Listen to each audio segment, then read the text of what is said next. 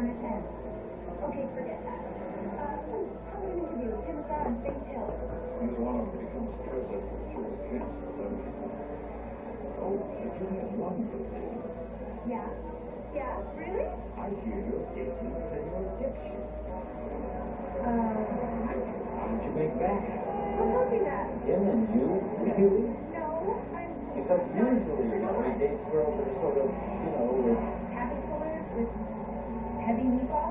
There's a developing story coming out of Albany. Uh, the governor's tax returns are being audited. Oh, for God's sake, you're telling me. No.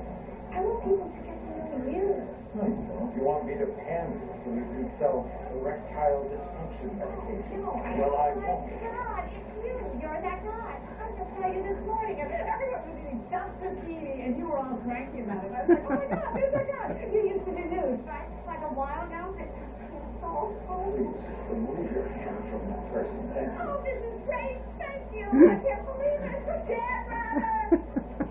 Dan People want to like it, and you know, it's an honor. And,